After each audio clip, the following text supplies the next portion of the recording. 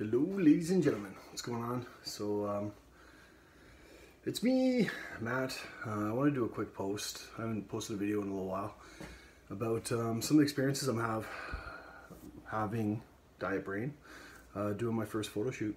So I've not really um, done a photo shoot before. This is going to be my first one coming up in about a week.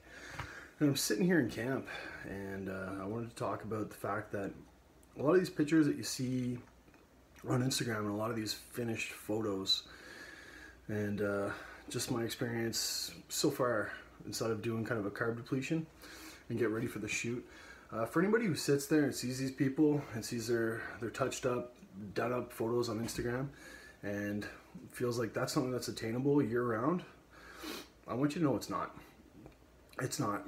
And uh, it's not fair for you to hold yourself to the standards that you're seeing on social media because it's not accurate and it's it's not even healthy.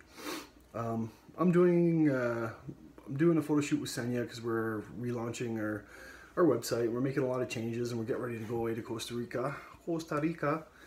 But uh, when you see these pictures and they're touched up, they're on Instagram. It's these people don't look like this year round. They really don't. You can kind of see now. I'm just starting to carb deplete. Just starting to get some some veins popping. I'm getting skinny. I weigh uh, two, I woke up this morning at 218 and a half. My usual weight is between 227 and 230. But um, involves a lot of sacrifice, a lot of bullshit, uh, a lot of being hungry. For those of you who have never carb depleted before, as soon as you start taking carbs out of your diet, you go retarded. Yesterday I left, I went to get up after having breakfast at camp and head into uh, my job. I got up from the table, I left my cell phone on the table, right? I went back, I threw on my boots, and I put on my boots. I realized I didn't have my cell phone, so I freaked out, ran out, tried to go grab my cell phone, grabbed my cell phone, went back, realized that when I was grabbing my cell phone, I left my card, which is a little scan card that we have to get from place to place. Um, and I went back, grabbed my grabbed my scan card. I guess what I'm trying to say is for anybody who, who sees a photo on social media or anybody who sees one of these model shots, that people don't look like that year round. It's it's uh, it's something that you train for, right? It involves you um, you cut your carbs down significantly, and the day before you carb load, you drink an insane amount of water. Right now, I'm drinking about eight, nine, ten liters a day, trying to get the hormones in my body to register as there's const- a constant influx of water coming in, and you start cutting it down. But it's not normal to be that vascular. It's not healthy to be that vascular, and it's not sustainable to be that vascular, especially when you see guys get on stage. So for anybody who sees model shots or sees photos of people on stage or sees um, just pictures. It's uh, you got to remember that there's a lot of sacrifice involved in getting to that stage. I'm just really starting to learn about it right now. Xenia's done a ton of photo shoots and a ton of water loading. Um, I'm not gonna lie to you, it, it ain't easy. Now I'm not gonna sit here and lie to you and tell you that's something that you can't do because you can. Um, but just know that when you're looking at these photos, it's not a good barometer of of what the human physique is. It's it's a good barometer of the human physique's potential but it's not necessarily a healthy barometer to be that shredded year round. It's not an attainable barometer to be shredded that year round. And it's by no means something that you should measure yourself by, right? So I guess the point of this video is to say I'm doing it. I'm starting to lean out. I'm starting to feel good about our upcoming photo shoot.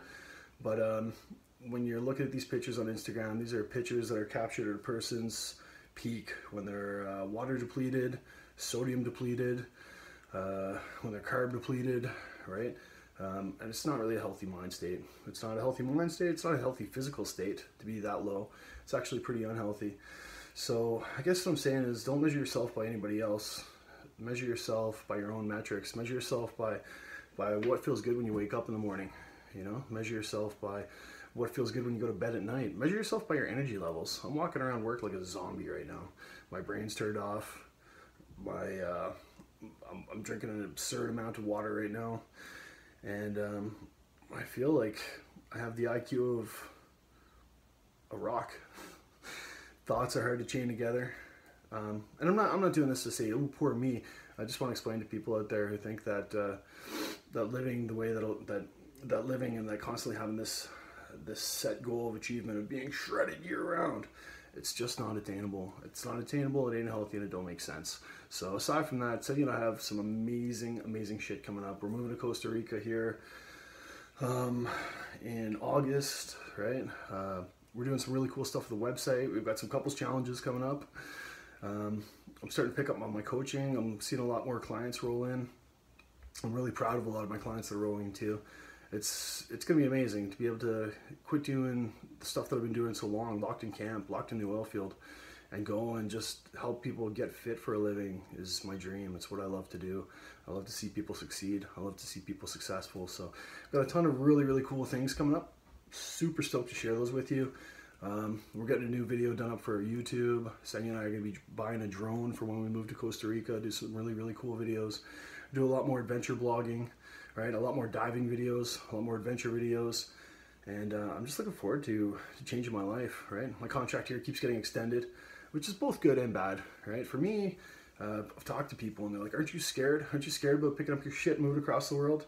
And uh, and I kind of talked about it. And she's like, well, you know, don't really want to let on that you're a little nervous. I'm fucking freaking out. I'm losing my mind. Uh, to do something like that for me, who's been in the oil field my whole life, and I just have this expectation, you know, like, I mean, I make good money doing what I do. I worked really hard. I sacrifice a lot.